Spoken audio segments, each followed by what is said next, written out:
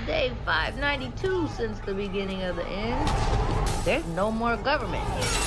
For those survivors who are still with us, batten down the hatches, make sure your guns are clean, and find a way to protect yourselves.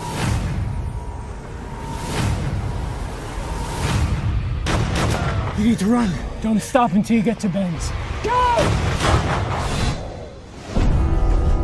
You need to get to Ben's. He was one of the best FBI agents I've ever seen. He became a survivalist. Why did you come here? They found me. We're gonna take the girl. We're gonna kill the rancher. You have 30 seconds to get off my property.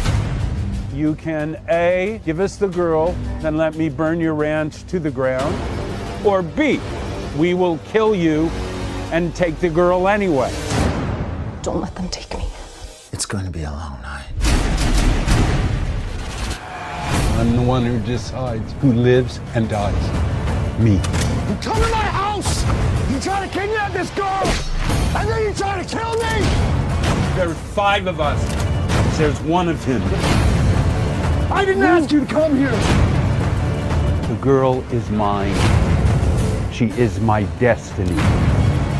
Your destiny is gonna get you killed!